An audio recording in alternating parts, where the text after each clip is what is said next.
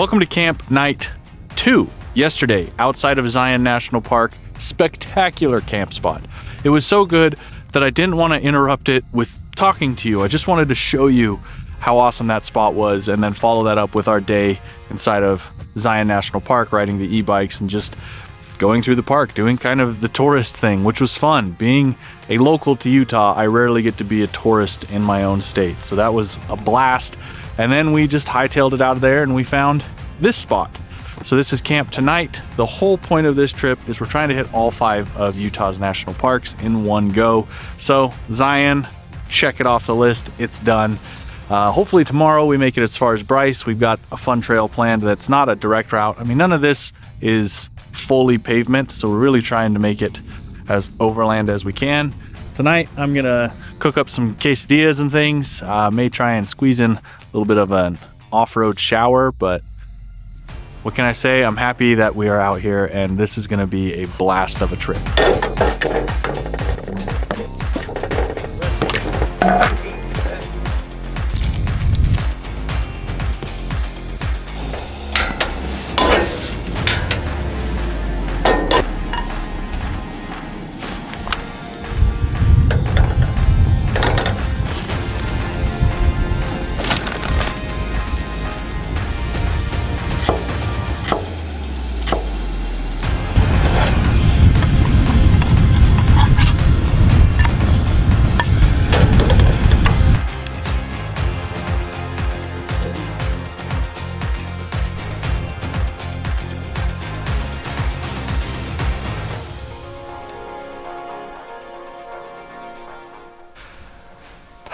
I have showered, I have eaten, I even got stuck in the shower because the Joolca shower's batteries died.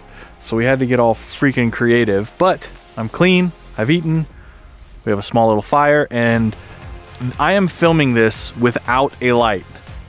That's moonlight, and maybe a little bit of like our dim little uh, Devos over there, but I'll walk away from that. Moonlight. It is so bright out. Uh, I'm gonna attempt a time lapse and then crawl into bed. Who knows what I'll get with the moon. I think my time lapse yesterday sucked, but I don't know, it's in this video. If it's in this video, you and I know together now. Future Justin knows, current Justin doesn't.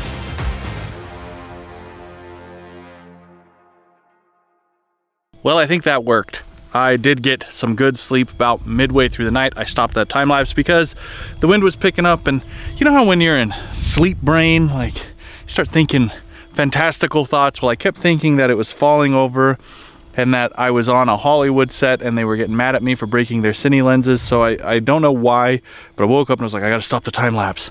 So I stopped it in the middle of the night. It was about four in the morning and it was freezing. It got super cold last night. Luckily I had my electric blanket, so that did keep me warm, but here we are. I slept in. I think because I slept so poorly leading up to me stopping the time lapse and then slept so well after the time lapse that I slept in and it's like 10 o'clock now. So we're just packing up camp. I've been reorganizing some things with the Bronco. This is a constant work in progress, figuring out where I like stuff, things I access most and, and want to have access to. So did a bunch of that just now and now I'm gonna start taking down this tent. Uh, a little bit about this tent. This is not my tent. This is not a new tent for me. I'm reviewing this tent uh, this is the new Roam Adventure Co tent. Uh, I was all over their website with it and then I got this one to borrow for this trip.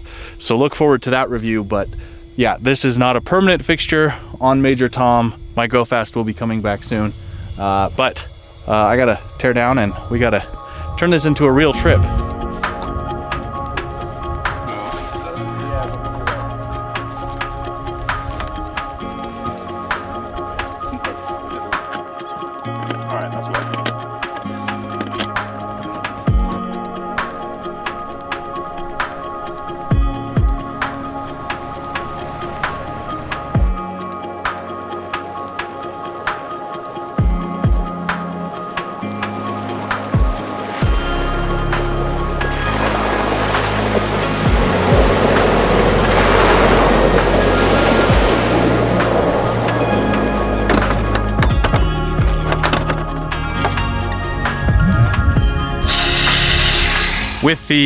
The air down ritual complete, it's safe to say that the adventure is really ready to get started. Up until now, it's just been tourism. So we've got a lot of elevation gain to do, a lot of miles to cover. We're taking the long way to Bryce Canyon. If we get there today, awesome. If we don't, it's adventure and that's how it goes. I'm so ready to get inside of this green stuff and out of the desert.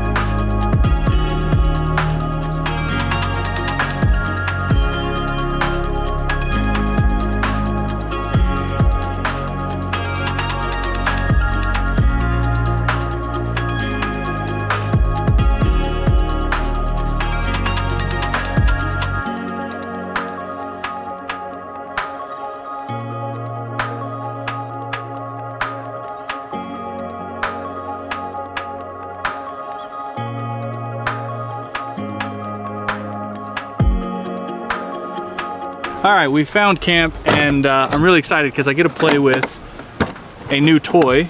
Uh, my mother-in-law actually gave me this for Christmas this year in case I got in situations like this where we are in an area that has recently been cleared by BLM. So there's a bunch of felled trees.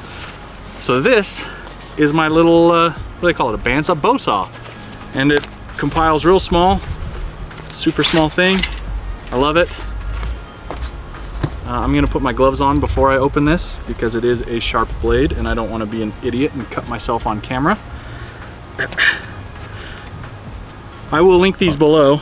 Oh yeah, look how cool this is. The guys at Give'r, they put my logo on my gloves. How cool is that? All right, so this thing, it's kind of funny. It just unfolds and then the blade is kept safe like so and you have to just butterfly it backwards. There's a little notch in the handle and it just lets it roll right in and keep the tension. See, good thing I had gloves on, I would have pinched myself. All right, so now we are good to cut the log we need to cut for our fire, so follow me.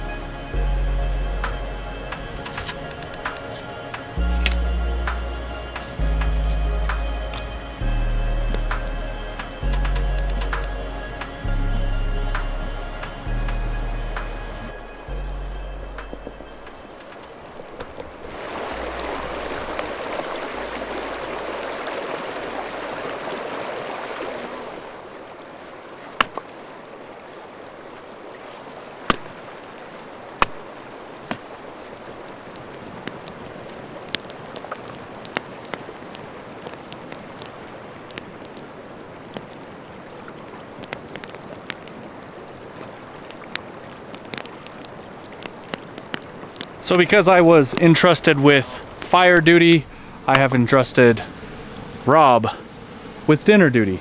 Burgers. So he's gonna make a burger. I'm gonna have one sans bun. And I, I, I think it'll be all right. I can even put cheese on it. So that's good. I can have cheese, I can have a burger, and I'll put it on a bed of lettuce. Boom. Sticking to the diet.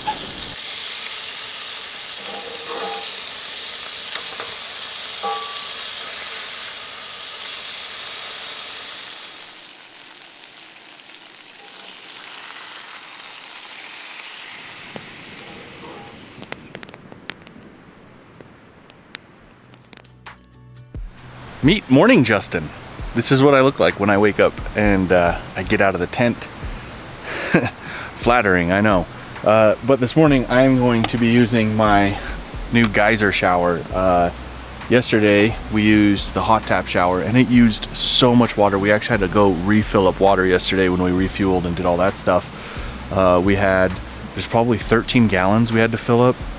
It was a lot of water. So this uh, uses about as much as a 13th of that, a gallon.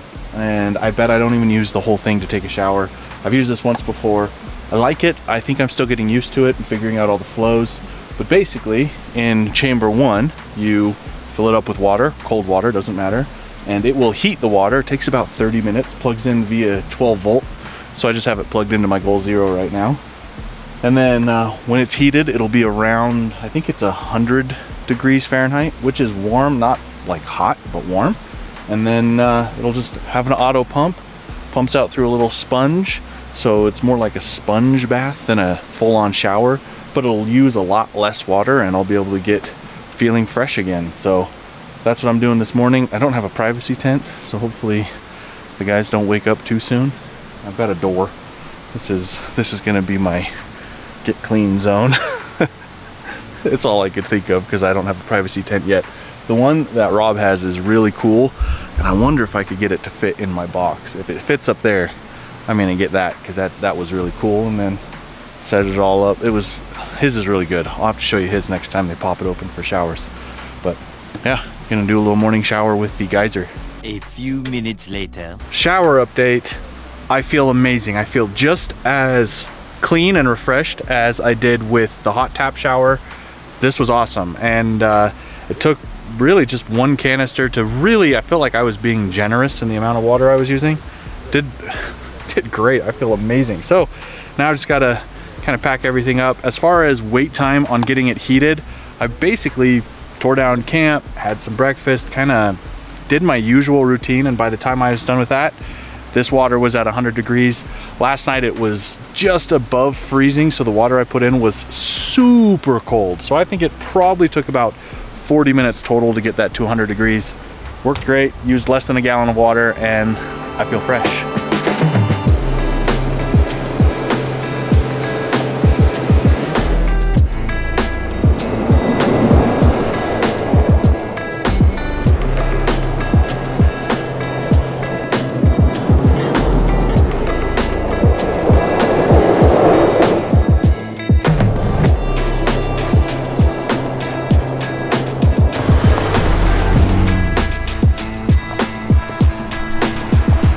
Things are starting to get interesting on the trail this morning.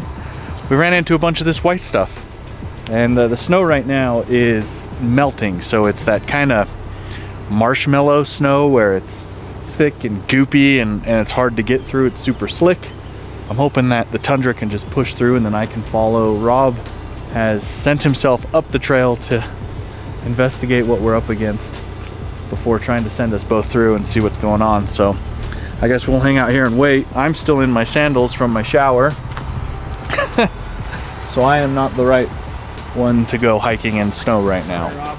Tell me what happened. You walked uh, up there. Yeah, so I walked up here. I think we could get past the, the first couple of snowbanks here, but it gets really deep further up uh, and then just turns into like big walls of snow. Uh, and we're at 8,600 feet and this trail goes up to 9,200 feet. So I think at this point we're going to turn around um, this would be a great trail to do in the summer because it's really pretty, especially like the Bryce Canyon like rocks up there.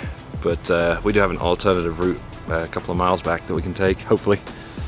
Well, you heard it from the man himself. We're gonna about face, head back down and take another kind of a bypass, I guess you'll call it. And hopefully that gets us across with little to no issue. should I say little to snow issue?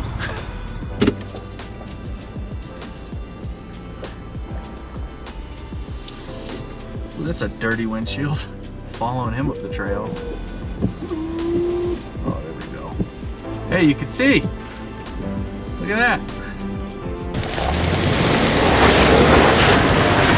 We're all turned around now, and I get to lead the trail, so goodbye dusty windshield for at least a few miles until the turnoff where Rob knows better than I do. I don't explore around here enough. That's for sure.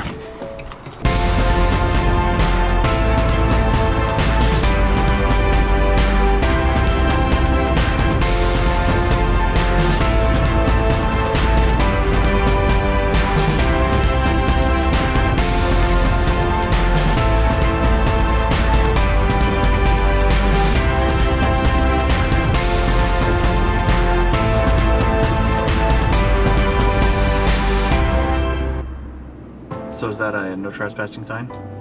Yep. Rob's doing a bit of vanity filming, so we'll turn around in a bit. Well, I guess we're not taking Hay Canyon either, so we're going to backtrack and basically go all the way around on pavement to Bryce Canyon.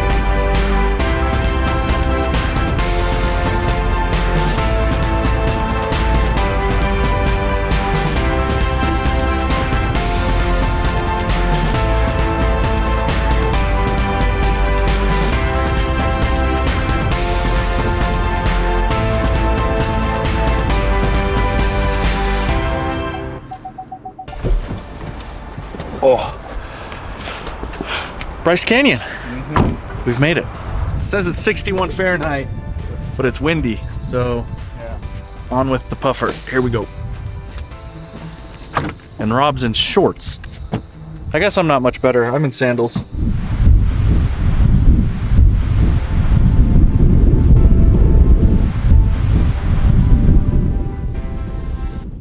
Far less wind down here, even though we're doing like the budget tour.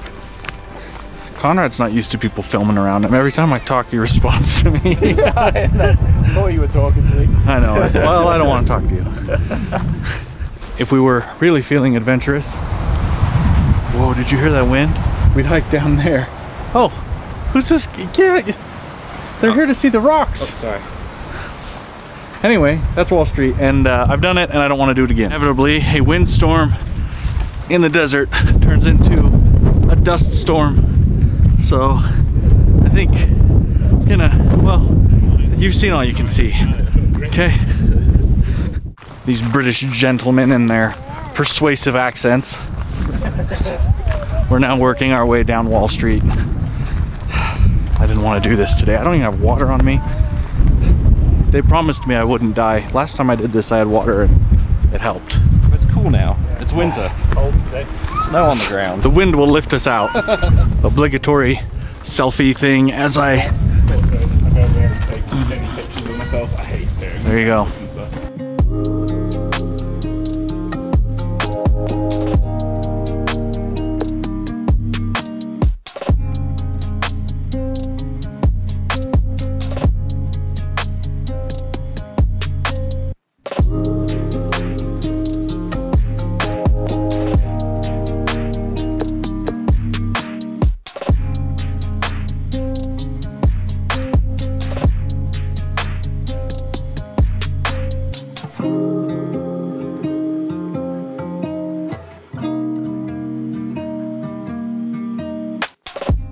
This is the part where you contemplate your own existence Move a little faster. and decision making capabilities of, oh yeah, I'll hike down Wall Street, that's no big deal.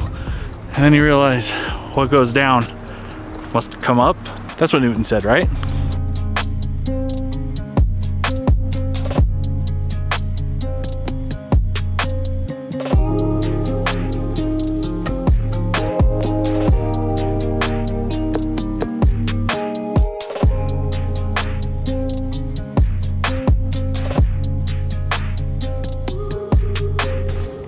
We're out of the park now and looking ahead. It's gonna get windy tonight. We might run into a little bit of wet weather. Tonight's gonna be the worst night of the trip. That's for sure. I mean, what we just drove in on is now covered in rain clouds and it's raining over there. I wonder if we're gonna be able to get away from it and head south and get away from the, the rain and the wind. Hopefully find a cubby to hide in. I was checking uh, the wind routes and it's not looking good. It's looking like we're in for a really windy night, which is probably good because I need to test this tent. Even though I know a big square on top is, is not gonna be great in the wind, it's still nice because everyone wants to know how does it do in the wind. So I'll be able to answer that question after tonight.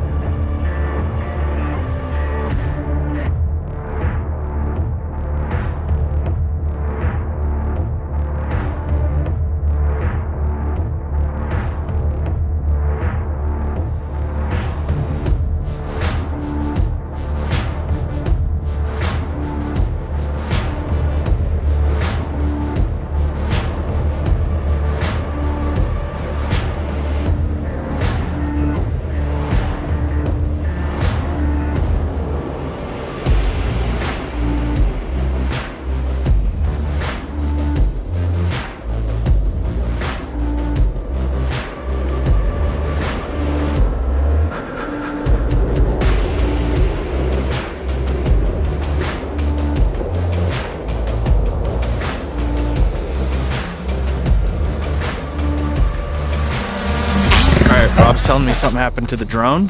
Yeah. I was following you.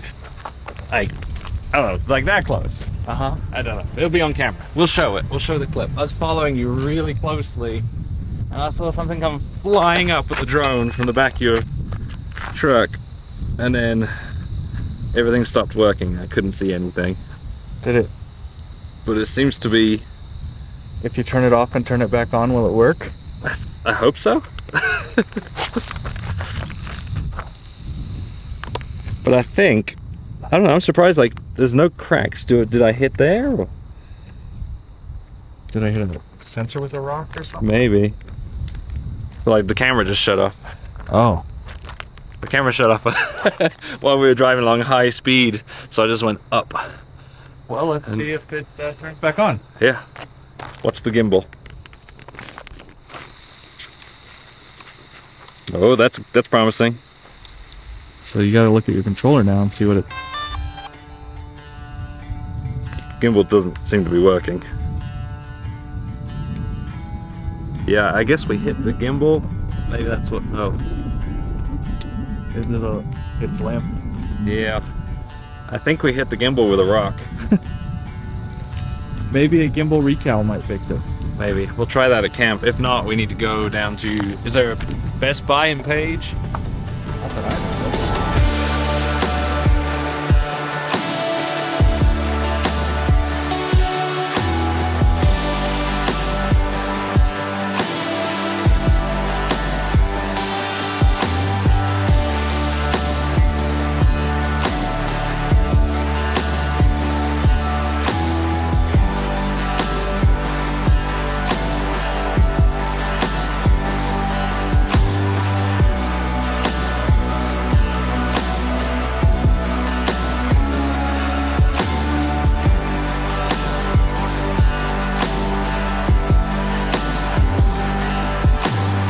Found a really cool camp spot and uh, it's in this incredible canyon which you're looking at via drone shot right now. Super pretty.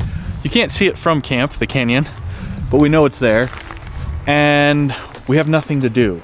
So we're figuring with the remaining daylight, just keep trucking. Someone needs to buy a new drone and we're Possibly. hoping there's something in Page. Probably so not. if we get that far, he might be able to go shopping for one tomorrow. But what is tomorrow? Oh, it's Easter Sunday. It's Easter Sunday, so who knows? We could drive down Flagstaff. How far is Flagstaff That's from a long Page? It's like three and a half hours from there. Gotta have my drone. That's that's how I felt. That's, That's- yeah, what people yeah. watch my channel for. I told you earlier, I don't have the personality. I make up for it with drone shots. So go go subscribe to him if you like drone shots. Uh, I'm gonna say we keep driving. All right. Okay? Drive on.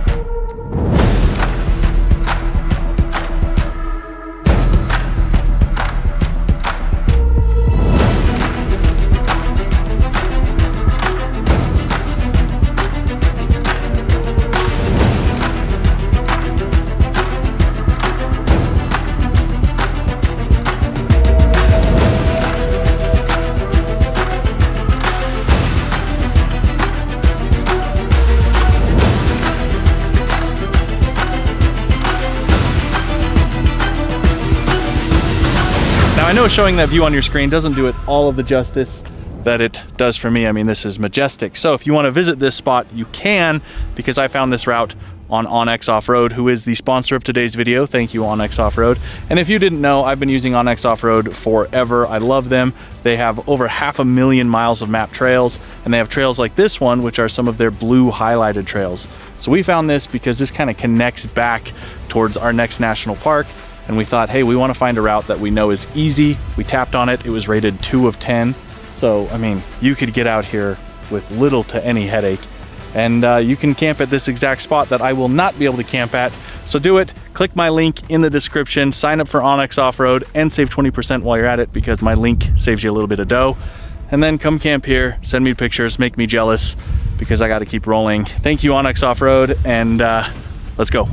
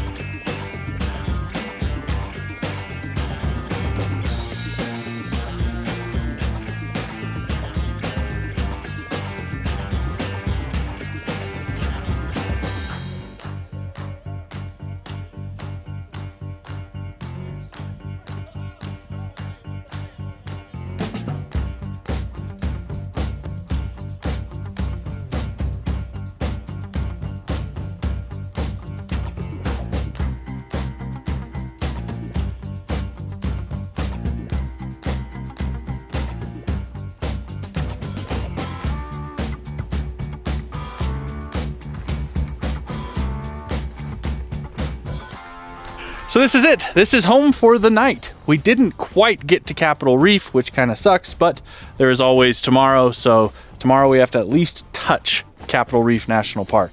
That's that's what matters. Tonight, just hanging out, chilling. It was a long day. Uh, onX rated that trail at a two, but after, you know, however many years since it's been posted, it's probably now a three or a four. There was actually one time I bounced to the bumper. So yeah, uh, we're a little worn out. I'm beat. I think they're gonna take showers. I'm gonna probably just start a fire and hope that the wind doesn't pick up.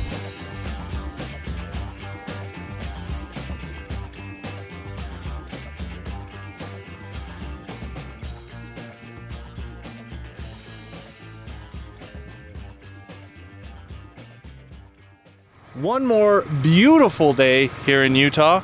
Uh, I am loving this trip. Today we have the goal of hitting our third national park, Capitol Reef. It's the park in the heart of Utah, dead center in Utah. And all we gotta do, we just gotta just dip our toe in that park. We just gotta, and then we've hit number three. After that, we have two more parks in Moab to hit.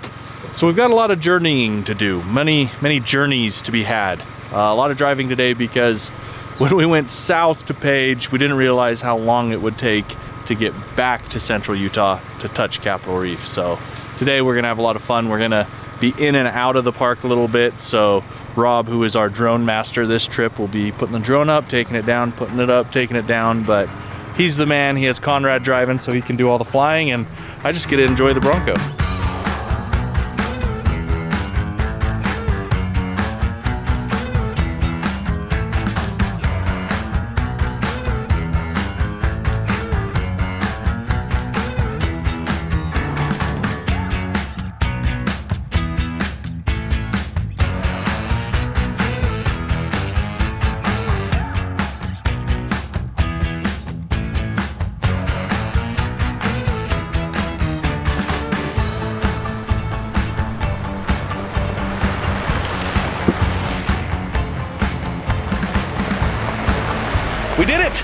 This is Capitol Reef.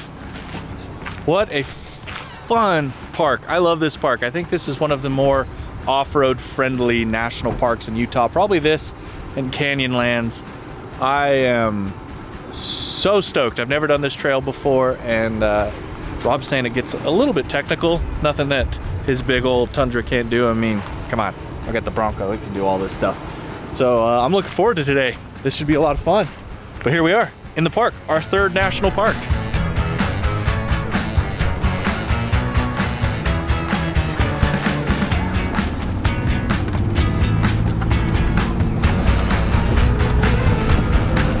So Rob has pulled a Rob and tricked me into hiking again. I thought this was a through trail, but it ends here at this Strike Valley overlook. Gosh dang you, Rob. It's just like Bryce when he convinced me to hike. So we're gonna go hike and check out some overlook. He keeps claiming it's really pretty. I'll be the judge. You'll be the judge. Like it if it is.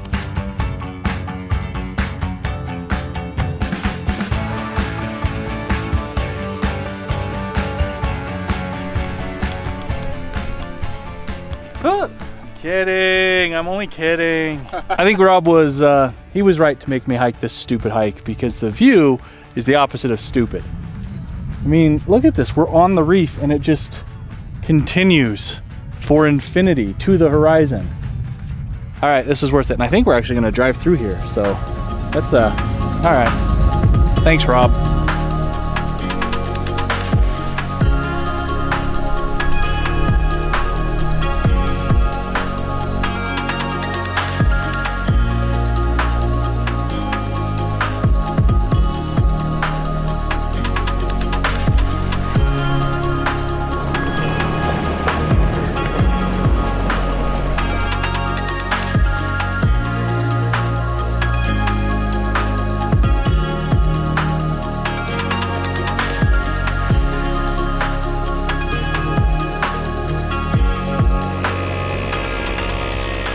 And with the not so subtle hum of my air compressor in the background, this concludes the Capitol Reef episode. Uh, I've got to run home for some family appointments, but then I will meet back up with Rob and Conrad to finish this whole Mighty 5 trip. But that does it for this one. So if you like the video, please like the video. If you have a question, leave me a comment. And if you want to hang out again, make sure to subscribe. Until next time, I'm Justin B. McBride.